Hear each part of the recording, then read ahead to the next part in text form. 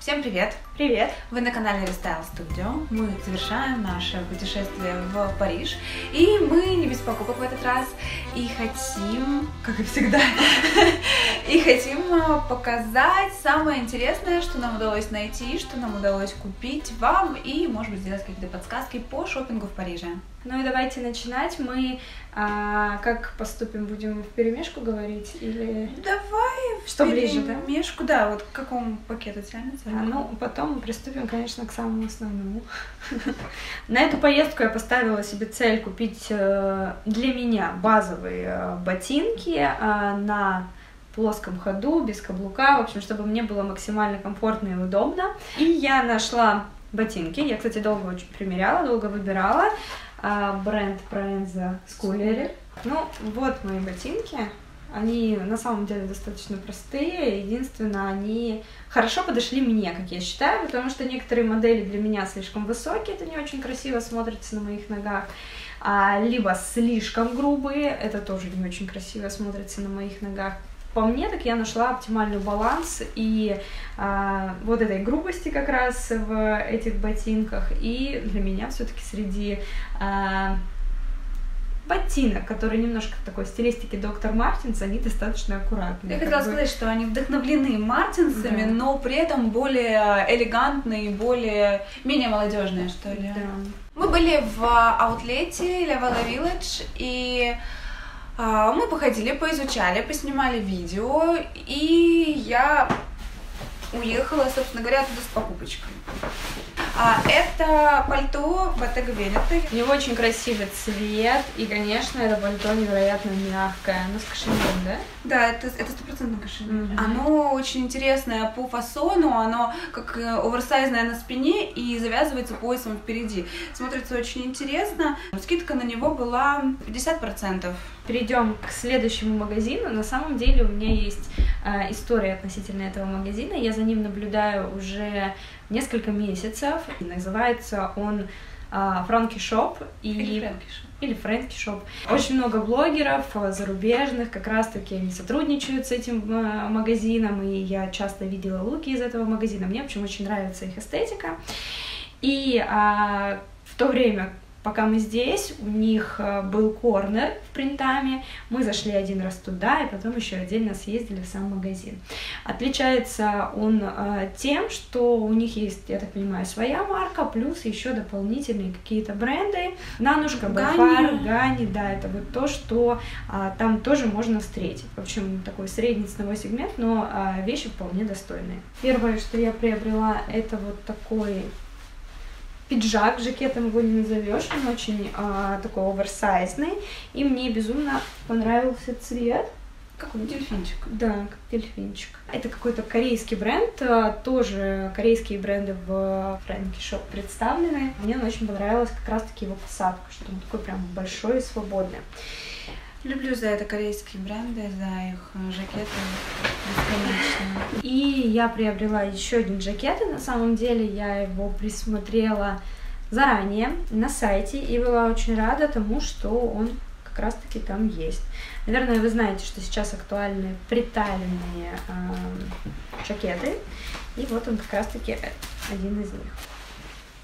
Вот так вот он выглядит. Но самое интересное, это, конечно, что он очень хорошо держит форму и а, задает даже некий такой дополнительный объем на бедрах. На мой взгляд, получается очень красивый силуэт, немножко в стилистике даже а, бренда Dior, я бы сказала.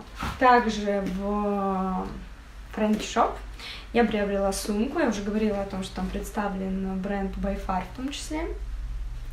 Я приобрела их сумку-малышку. Мне очень нравится. Именно в Байфар я увидела цвет, который давно хотела. Такой приглушенный зеленый. Мне кажется, он достаточно базовый, будет ко всему подходить э, и хорошо будет сочетаться с своими новыми покупками. Когда я увидела эту сумку на витрине, она мне очень понравилась, но дело в том, что на ручке я сразу заметила небольшую, небольшую потертость. Не знаю, даже будет здесь вам видно или нет. Ну, в общем, тут совсем незначительная такая э, даже это царапины не назовешь. Я попросила принести мне другую модель по этой причине, а, но они сказали, что это последняя сумка, и а, благодаря тому, что я обратила на это внимание, они сделали скидку 10%. Ну, что тоже приятно, потому что на самом деле это абсолютно не видно. А, вот, но мне кажется, сумочка очень аккуратная, телефон помещается, это уже плюс. У меня тоже есть пара покупочек из Фрэнки Шопа. Я искала себе какой-нибудь а, классный оверсайзный тренч, но все, которые я находила, они были либо недостаточно оверсайзные, либо поскольку я достаточно небольшого роста, они мне все очень длинные. А честное слово, ушивать а, тренч какого-нибудь а, бренда премиум сегмента мне не хочется дополнительного ателье, поэтому я искала что-то, то, что изначально мне хорошо да, И здесь подойдет. всегда спасают, кстати, корейские Корея, да. бренды. Он объемный, у него интересные объемные рукава, достаточно широкие лацканы, интересные плечевые детали.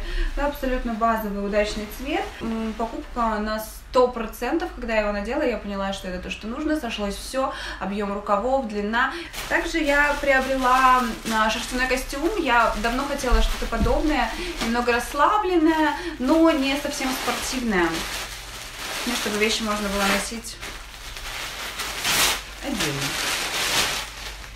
Объемная достаточно рубашка, у нее невероятно красивые, шикарные рукава. И не уверена, кстати, что это шерсть, но сделан он под как бы такие шерстяные костюмы. Район и полиэстер. Mm, шикарно. Шикарная шерсть. И к нему также брюки на резинке достаточно комфортные, удобные, расслабленные. Я планирую носить это э, с каблуками. Редко, когда у меня будет настроение, а в основном с кедами, кроссовками, с казаками. Я думаю, что шикарно он будет выглядеть этой покупкой. Я супер довольна. И еще мне дико нравится этот цвет. Он какой-то не, не слишком хаки, не слишком холодный, не слишком mm-hmm. теплый. Очень удачный, базовый, но при этом интересный. Я даже в принтаме купила еще корнере Фрэнки Шоп, ну, скорее даже бермуда, они выше колена, ну, где-то по колено. Бермуды из э, эко-кожи, я давно смотрела что-то подобное. Это бренд Stage, они отлично сели, у них прекрасный цвет. И если говорить про такие свободные варианты брюк э, или шорт, то эко-кожа здесь отлично работает и смотрится не хуже натуральной. Мне удалось еще приобрести несколько вещей в местных брендах. Я не знаю, кстати, это читается. Да, это тоже во французском читается. Если что, во французском... Мы напишем. И это кожаные брюки на самом деле тоже у меня была одна большая цель на эту поездку приобрести кожаные брюки, а, максимально базовые. Честно, я ищу максимально эко-кожу. Я стараюсь а, найти бренды из эко-кожи, но дело в том, что на меня просто не садятся. Я меряю очень много, и какой-то оттенок. Кстати, мне в магазине казалось, что он синий, здесь он... Он на камере, он синий, в комнате он э, другой. В комнате это он серый. Да. В целом, это брюки, те, которые на меня удачно сели, это для меня уже большой плюс. Ну, собственно говоря, когда мы их нашли, мы не знали, кожа это не кожа, просто решили примерить, оказалось, что это натуральная кожа. Причем для натуральной кожи у них достаточно комфортная цена какая-то была. Да, они стоили 395 евро. Но я так понимаю, этот бренд недорогой достаточно, может быть, средний сегмент. Я хочу заметить еще тот факт, что я достаточно капризна в выборе одежды, потому что мне то жарко, мне то неприятно, мне то колется, мне то э, душно, еще что-то. В общем, а, это то, что мне подошло. Для меня это большая редкость, когда вещь совпадает по всем параметрам. На самом деле, я считаю, что чем более ты избирательна в покупке одежды, тем больше идеальных вещей оказывается в гардеробе. Да, если так, ты их находишь. Если ты их находишь, да, один момент. Бренд, который в России был представлен, это Тара Тара Жермон, я думаю, что это сейчас нет.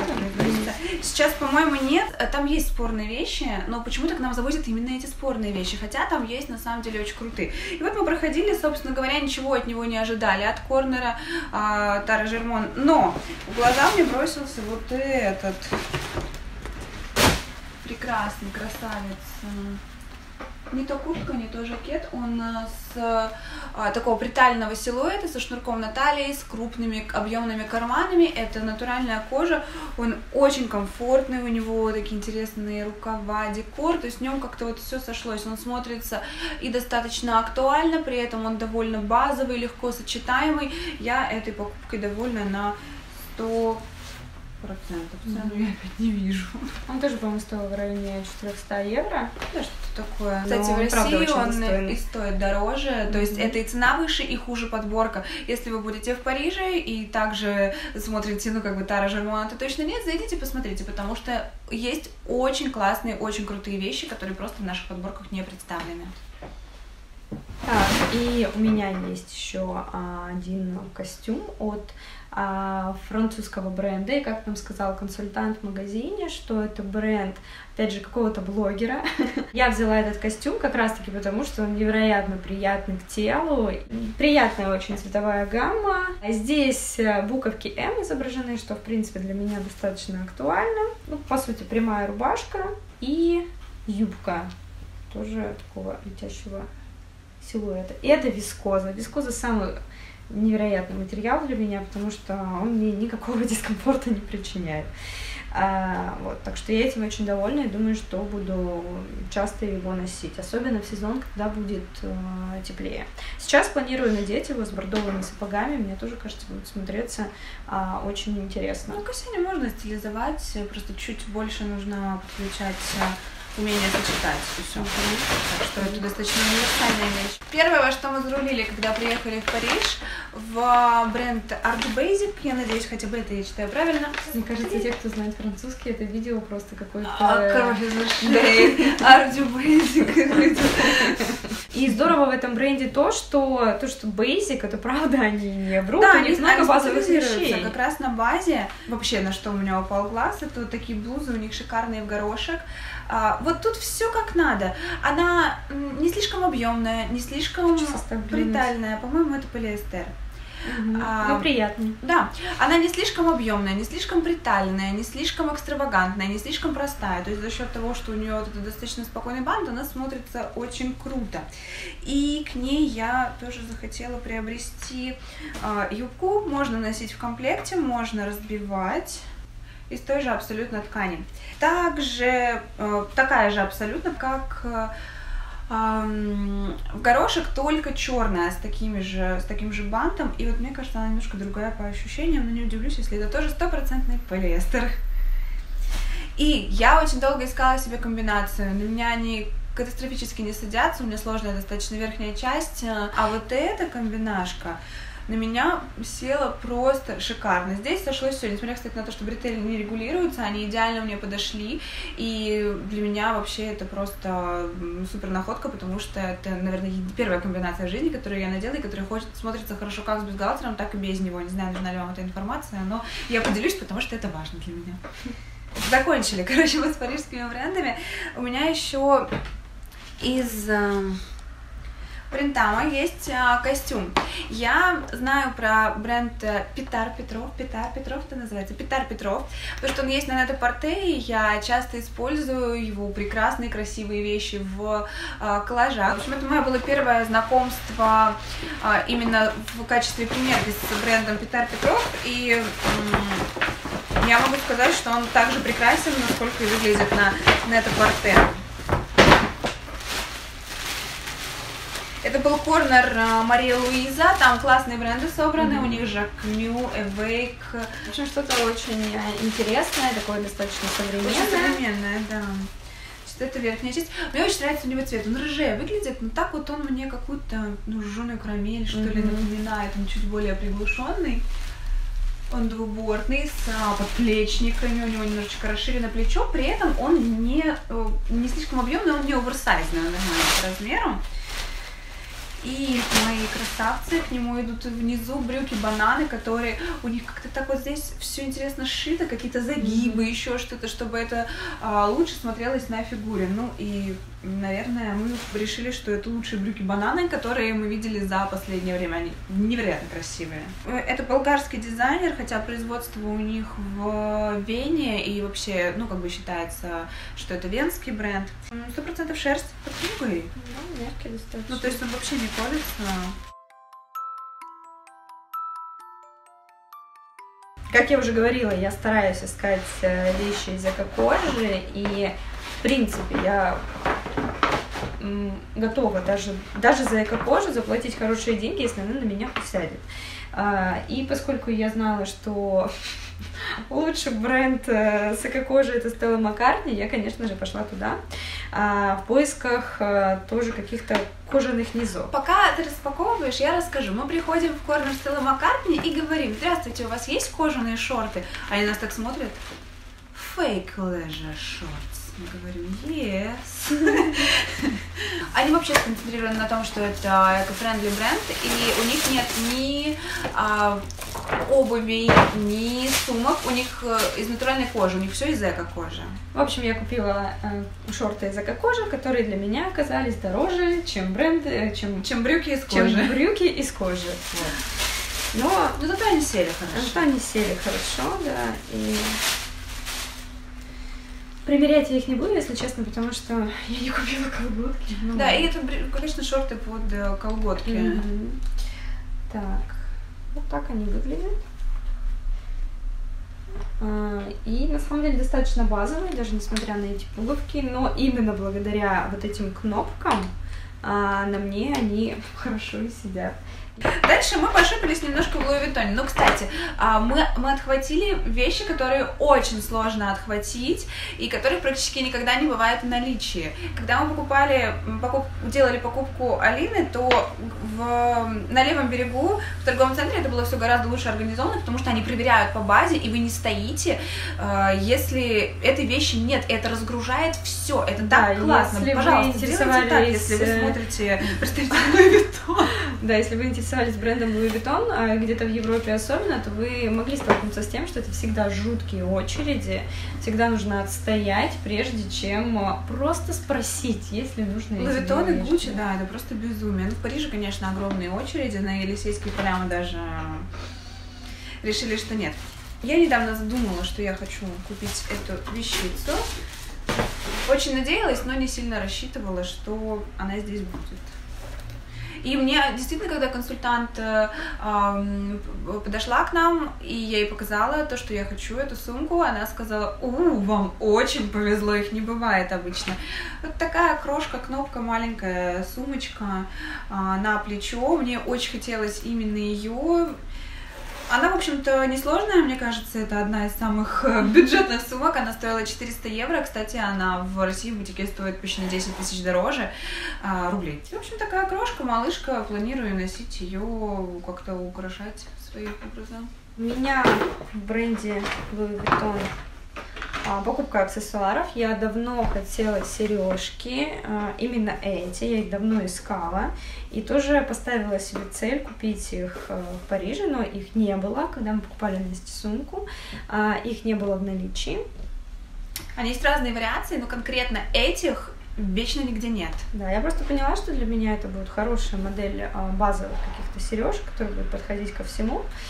А, и, а, к счастью, мы нашли их на левом берегу. Он, где Настя говорит, что все было очень хорошо организовано. Вот они. А, одна сережка с лого, и вторая тоже с привычным для них что это цветок. И мне кажется, они очень базовые. Давайте сейчас надену сразу.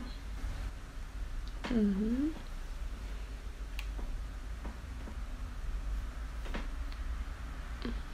Ну и я дальше, наверное, продолжу с темой сережек, потому что я сделала одну покупку в винтажном магазине. А, как-то у нас в этот раз с винтажем не, не так сильно хорошо пошла история. Здесь есть определенная просто специфика, и вам нужно конкретно понимать, что вы хотите, чтобы в Париже ваш шопинг стал удачным. Так что, если не смотрели, вернитесь к этому видео. А, и в магазине, Валуа, да, Валуа Валуа Винтаж. Это слово я знаю, потому что я читала «Проклятых королей». Я купила сережки Шанель. Я давно хотела именно жемчужинка, и там я увидела, они тоже очень базовые, очень аккуратные. У меня уже есть просто лого, такие они сине-серые, а это уже жемчужинкой. Порядка 300, по-моему, евро. Три- да, 300 что-то такое было. 300. Ну, в общем, нельзя сказать, что это как-то супер дешево, если что. Здесь винтаж не винтаж, дешевле, да. нет. Просто здесь можно найти крутые вещи. Ощущение, что я в Диоре купила а, манекен целиком. Давайте начнем с а, этого огромного пакета, который вот можно вот так вот просто сделать. Уважаемые а, представители бренда Dior, почему вы не делаете для специфичных товаров специфичные коробки? Коробка тоже достаточно внушительная, не такая, как пакет уже. Это как матрешка, мы все распаковываем, а там окажется э, подвесочка маленькая. На самом деле не совсем.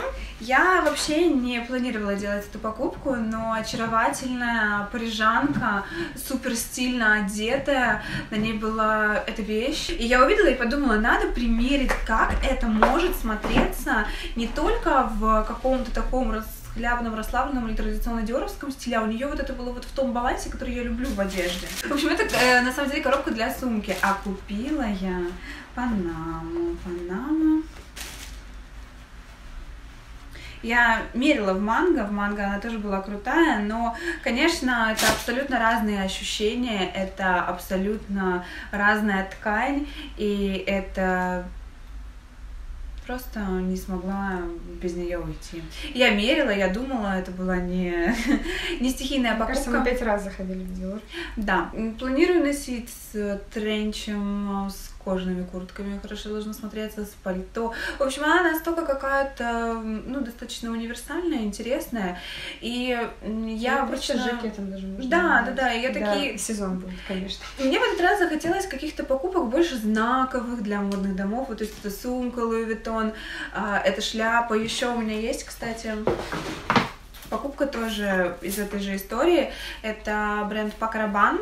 Если знаете, бренд Rabanne, он отличается тем, что он а, в 60-х годах поддержал тему и вообще задавал тренды и поддержал тему а, полетов на Луну, всю эту тему футуризма, которая зарождалась, стиля футуризм. И он создавал вещи из, а, их называли в прессе вещи из болтов и плоскогубцев.